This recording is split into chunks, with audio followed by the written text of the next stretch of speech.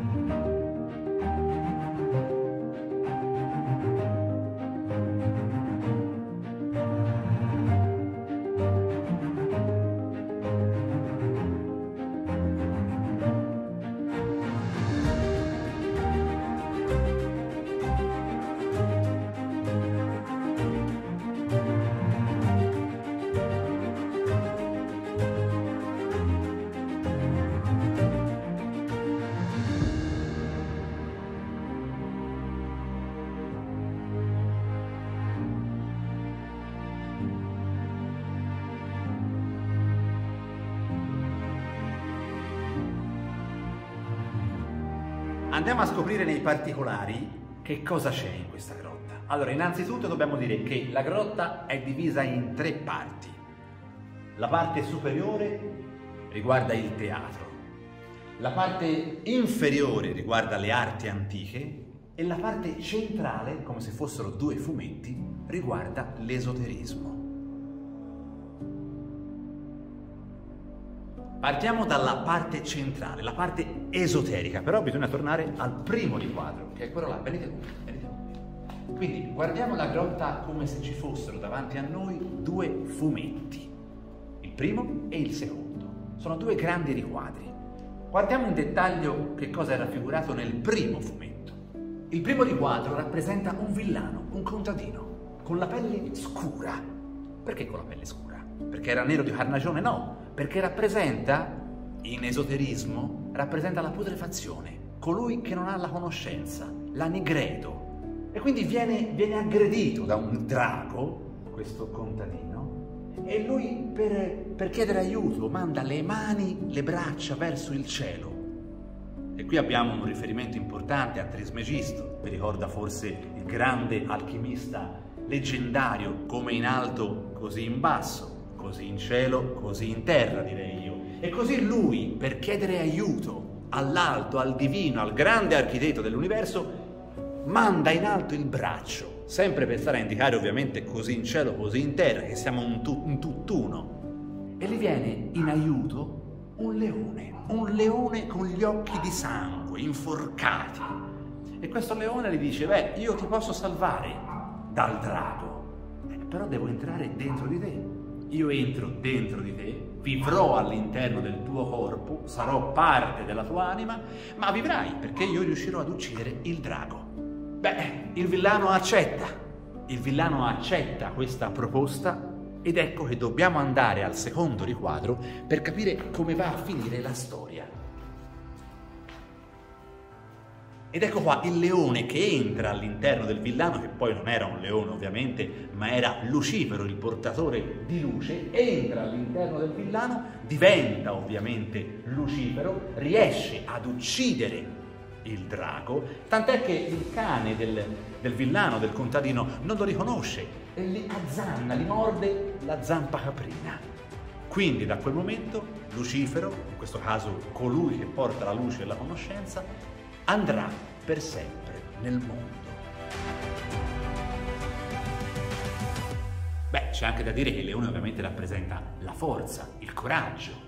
Tanti mi dicono, ma ci sono due draghi all'interno della grotta? No, ce n'è uno solo. Cioè sì, ce ne sono due perché ne hanno realizzati due, ma come ho detto prima è un fumetto, prima sequenza, seconda sequenza. Quindi è sempre il solito drago.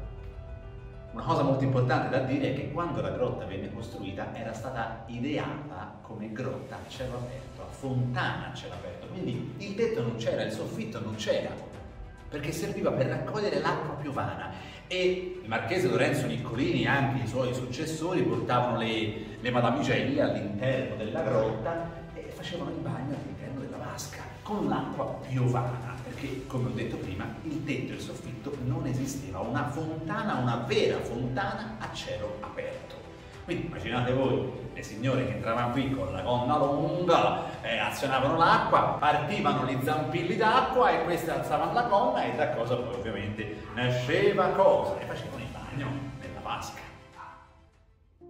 Andiamo adesso a scoprire i segreti della parte inferiore.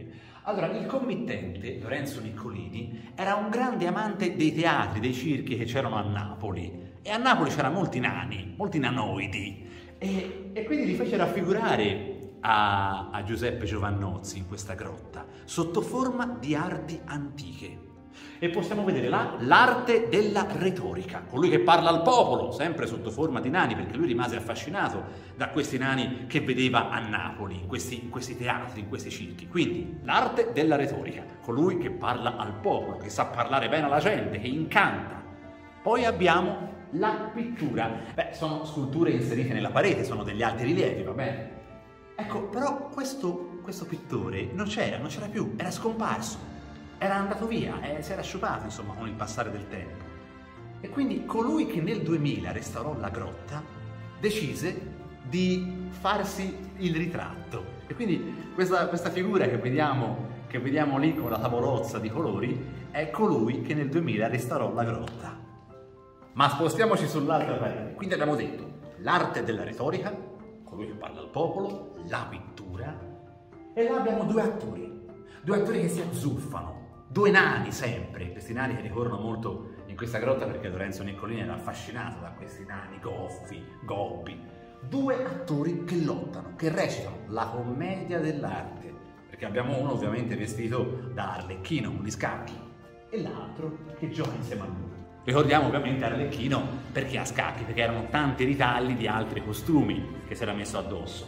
E là, sull'altra parete, la musica, il canto, il bel canto. Quindi abbiamo detto quattro arti antiche realizzate all'interno della grotta. Ecco, vediamo il cantante che canta con in mano uno spartito musicale, lo stringi. Sembra quasi da lontano un bicchiere, un calice, come se fosse quasi briaco a cantare.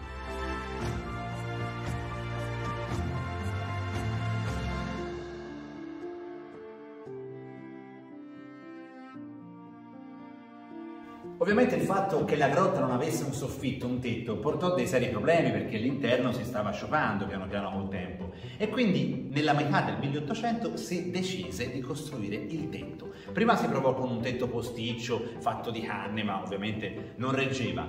E nella seconda metà del 1800 si decise appunto di fare il tetto finalmente in muratura. E venne affrescato il soffitto dal pittore Gaspero Pulcinelli. E che cosa vediamo in questo soffitto? Vediamo gli alberi che contornavano nel 1800 la villa del Bandino e questo cielo che ci porta verso l'alto e che ci fa credere ovviamente che sia ancora una volta una grotta a cielo aperto. Notate anche quanti volatili, quanti uccelli sono stati dipinti da Gaspero Pulcinelli nell'immensità del, di questo cielo. Andiamo nella parte alta, vediamo tantissimi mascheroni. Cosa sono questi mascheroni? Eh, sono donne, perché ne vediamo il seno. No, non sono donne, ricordiamoci che all'epoca a teatro eh, le donne non potevano recitare, recitavano solamente gli uomini vestiti da donna. E quindi quelli sono uomini, uomini truccati da donna, con i seni finti ovviamente, che recitano in questo spazio teatrale illusorio all'interno di questa grotta. Possiamo vedere un volto bianco, vediamo un volto rosso e vediamo sempre due volti neri che rappresentano la coloro che non hanno la conoscenza, messi di fronte a coloro che invece hanno raggiunto un altro livello di iniziazione. Se guardiamo in alto verso quel mascherone c'è un gancio di ferro. Che cos'è? L'ha voluto lasciare colui che nel 2000 restaurò la grotta perché era il gancio che gli serviva per appendere il secchiello per pitturare le varie, le varie sculture. Ecco, un'aggiunta ovviamente che, che lascia un segno anche nel futuro della grotta del Bandino. Giuseppe Giovannozzi nel 1746 si è divertito anche ad inserire alcune piccole cose pitturate in qua e in là. Abbiamo per esempio la chiesa di Santa Margherita a Montici, abbiamo San Francesco e il lupo, abbiamo un pastore che porta a spasso il gregge vestito un po' da, da personaggio della commedia dell'arte. Abbiamo tante case torri che all'epoca ancora esistevano e che oggigiorno ovviamente nel contato fiorentino non ci sono più. Abbiamo anche un orso che sospettoso guarda dall'alto il pastore con le pecore. Sono veramente tante, tantissime le conchiglie all'interno della grotta che provengono da ogni parte d'Europa. Abbiamo un, eh, un inventario dettagliato di tutti i nomi, le tipologie di conchiglie che ci sono e da dove esse provengono.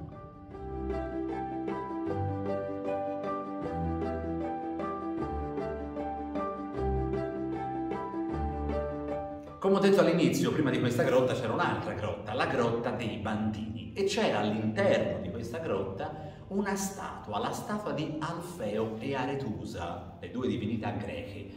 Beh, questa statua venne tolta dai Niccolini e venne posizionata nel centro della grande vasca circolare settecentesca in ferro battuto che adornava il cortile della villa.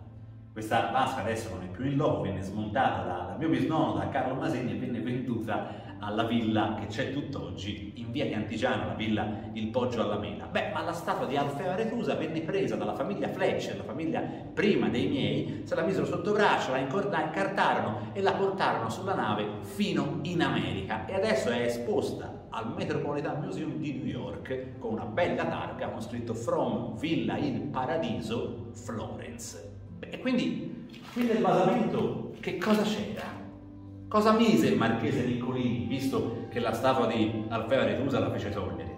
Fece costruire un'altra statua, la statua di Venere e Adone. E anche questa purtroppo non c'è più oggigiorno. Si crede che sia scomparsa anch'essa alla fine della seconda guerra mondiale. Ci sono due targhe realizzate da Giuseppe Giovannozzi che ricordano l'inizio della costruzione della grotta e la fine della costruzione della grotta. Fece Giuseppe Giovannozzi 1746. Ma da dove usciva l'acqua? L'acqua usciva dalle bocche dei due draghi che riempivano ovviamente tutta la vasca.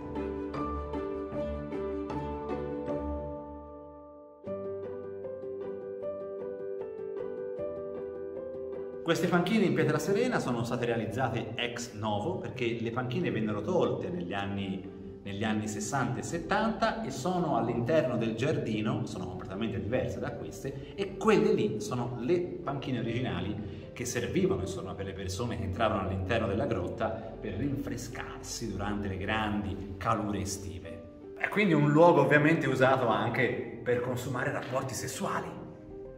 Ecco, vediamo sulla facciata sull'esterno della grotta come campeggia meraviglioso lo stemma della famiglia Niccolini, un gatto pardo bianco su sfondo azzurro con una banda rossa. Come l'ingresso di un tempio, come l'ingresso di un grande teatro, tre grandi arcate per entrare all'interno della grotta.